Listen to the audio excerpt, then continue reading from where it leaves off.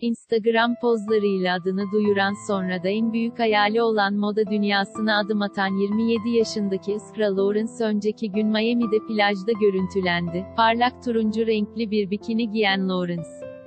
Arkadaşlarıyla birlikte denize girdi ve gün boyu kahkahalarıyla plajı çınlattı. Çok katı diyetler denedim. Son dönemde büyük beden model olarak çeşitli firmaların tanıtım yüzü olan ve moda dünyasında kıvrımlı modellerin öncülerinden biri haline gelen Lawrence, kariyerine rağmen kendisine yönelik eleştirilerden kurtulamıyor. Hayatı boyunca fiziksel görüntüsü yüzünden eleştiri ya da alay konusu olan Lawrence bir dönem bu yüzden zor günler geçirdiğini söylüyor. Model olmaya çalıştığı ilk dönemlerde olabildiği kadar zayıf olabilmek için denemediği yol kalmadığını söyleyen Lawrence, çok katı diyetler denedim, kendimle uzun süre mücadele ettim çünkü hedefime ulaşıp mutlu olmanın tek yolunun bu olduğunu düşünüyordum, dedi. Zayıf olmak için tam 6 yıl harcadım. Fazla kilolu bulunduğu için birçok giyim firması tarafından geri çevrilen Lawrence sonra yaşadıklarını ise şöyle anlatıyor. Bir keresinde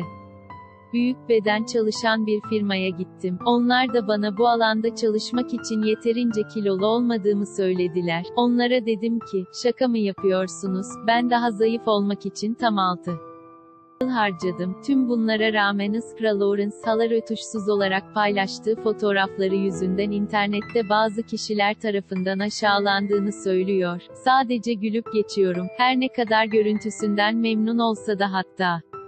Bu sayede kariyer yapsa da Iskra Lawrence da zaman zaman bu yüzden olumsuz fikirlerle mücadele etmek zorunda kaldığını anlatıyor. Yetişme çağlarında kiloları yüzünden aile üyelerinden de hoş olmayan sözler duyduğunu Anlatan Iskra Lawrence, artık bu tür eleştirilere sadece gülüp geçiyorum, diyor.